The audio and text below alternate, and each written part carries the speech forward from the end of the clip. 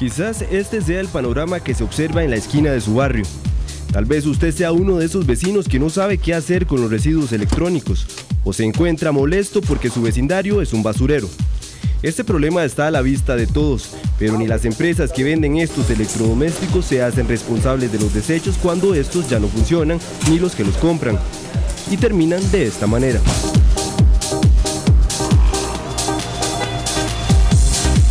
El Tecnológico de Costa Rica desde el 2003 inicia el programa de recolección de residuos electrónicos en el Centro de Transferencia y Transformación de Materiales.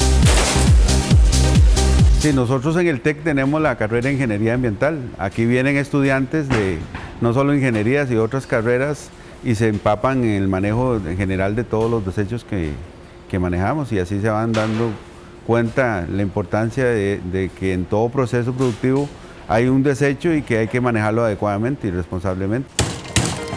Aquí se procesan todos los desechos electrónicos, se separan los residuos que pueden ser reutilizados en nuestro país de esta forma se bajan los costos de envío, porque de un 100% solo el 20% sale de nuestras fronteras. Este programa de tratamiento de residuos del TEC no solo ayuda a resolver esa deficiencia que tiene Costa Rica, sino que también genera 23 empleos directos. Funciona como un centro de estudio para los estudiantes con carreras afines.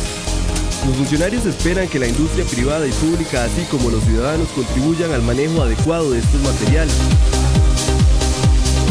Lo importante es que las, personas y empresas vayan encontrando lugares adecuados para manejar esos residuos que actualmente no hay. hay, hay pocos, pero se están dando.